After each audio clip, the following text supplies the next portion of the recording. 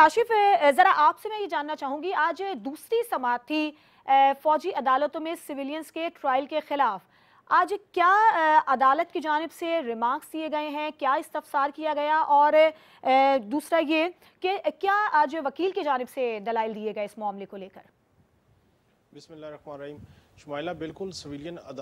जो लोग हैं उनका फौजी अदालतों में ट्रायल का जो केस है कल से इसकी इब्तदा हुई और जिस तरीके से बेंच टूटा और फिर साजुनी बेंच ने दोबारा चीफ जस्टिस उमरता बंदयाल की सरबराही में समात की। आज जो है वकला के दरखा जो दलाइल हैं वो जारी रहे और जो कल हम देख रहे थे कि एक हुक्म इम्तनाई जो है वो कोशिश की गई कि फौरी तौर पर उसको दिया जाए ताकि अगर ट्रायल कहीं पर हो रहा है तो उसको रोका जा सके लेकिन उसकी दरख्वास्त तो मुस्तरद हो गई थी गुजशत रोज़। आज बहरहाल जो दलाइल दिए गए उस दलाइल में जो वकला से हमारी बात हुई है, उसमें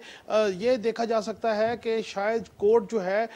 वो कन्विंस होने की कोशिश कर रही है कि किस तरीके से जो फौजी अदालतें हैं, वो काम कर सकती हैं, जबकि दहशतगर्दी कोर्ट्स जो है, वो भी इसी तनाजुर में बनाई गई थी कि इंसदाद दहशतगर्दी के जो वाक़ात होंगे, उसमें सेवन एटी ए लगाई जाएगी और उन दफात के ऊपर सिविलियन का वहाँ पर ट्रायल होगा। अगर इंसदाद दहशतगर्दी की अदालतें मौजूद हैं और उसके बाद आया मिलिट्री कोर्ट्स जो है, उनके अंदर सिविलियन का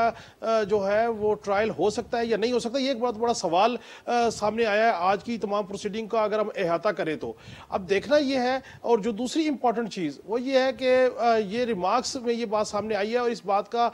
इंदिया दिया गया है कि कोर्ट जो है वो ईद की छुट्टियों से पहले जो है इस केस को वो कंक्लूड करना चाहती हाँ। है और उसमें यह है कि ये तो की जा रही है कि मंगल को शायद इसके ऊपर सुप्रीम कोर्ट के साथ उठनी बेंच की जानब से कोई फैसला आने का इम्कान ज़ाहिर कर रहे हैं वकला लेकिन एक नुकता बड़ा इंपॉर्टेंट है कि हम्म। अगर इंसदाद दहशत गर्दी की कोर्ट्स मौजूद हैं तो फिर सिविलियन का मिलिट्री कोर्ट्स में ट्रायल हो सकता है या नहीं हो सकता दूसरी बात यह है कि अगर मुकदमात जो है वो दर्ज हो रहे हैं सेवन एटी ए के तहत और मुकदमात में मिलिट्री एक्ट की जो है खिलाफ वर्जी या सीक्रेट एक्ट की जो